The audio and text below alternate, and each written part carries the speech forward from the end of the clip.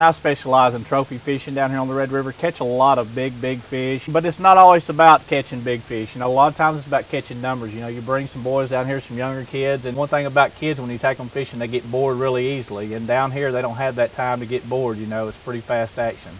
All right, our uh, rookie fisherman today are Heath. He's the older brother. He is 15, and his younger brother Hunter is 14 and they've never been fishing before. They've done a little couple things at ponds and lakes, but nothing literally serious that I would call it if they were getting a chance to fish.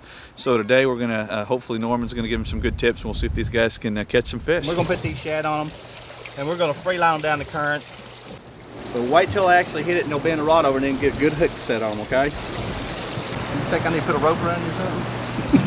uh, you know how to swim, right? Yes. Okay, we don't want you going in the water, though. I see it. Come on, handle that fish, man. You got an OU outfit on, you probably done had him in. huh? All right, leave me about four foot. That's a good little fish. Nice fish. Huh? Yeah. We got one over here on the other side of the boat now. Fish on. That's an Aggie hook, isn't it? Look at that. and pull back, and then reel as you're lowering the rod. There you go. But keeping it tight at all times, your line. Good job. Get one in. You already got one? Dang it, the second I Nice little fat one. He'd be doing a whole lot better if he had some of that sooner gear on. huh? You want to trade? No. Are you serious?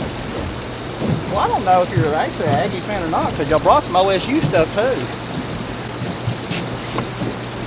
I don't think I have any sooner stuff. Well, what if, if I like call in town and have some brought out? Ah, Huh? maybe not. You sure? Yeah, yeah, I'm sure. Nice little fat guy. He's in good shape. Just remember, folks, I got big hands, so it's actually a real big fish, okay? Hey, it's a catfish. Yeah. It's, it's little whiskers. there you go. While them rods are in the boat, they're mine. When they go out of the boat, they're yours. you know, 95% of the time, you're going to come down and you're to have a really good fishing trip. And, you know, it, that's what it takes to get people hooked on fishing is, is to get them out here and let them get and catch a lot of fish and, you know, and, and they'll just get addicted to it. They'll love it.